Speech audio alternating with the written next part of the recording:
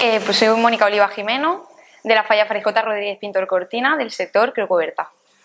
Bueno, es un sueño, ¿no? Soy eh, fallera y valenciana de toda la vida y es el top, ¿no? Es, para mí sería un sueño.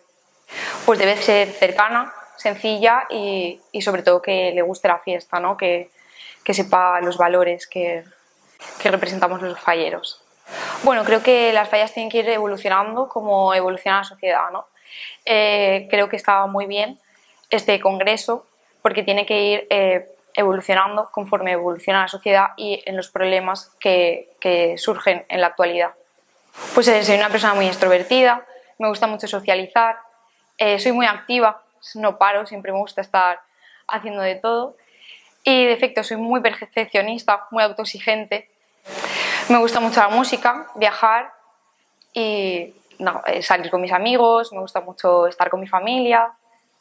Pues a ver, estoy leyendo Donde tus sueños te lleven. Pues me gusta mucho Frida Kahlo. Todo esto del movimiento de la mujer, creo que es una persona muy importante y que me ha marcado mucho.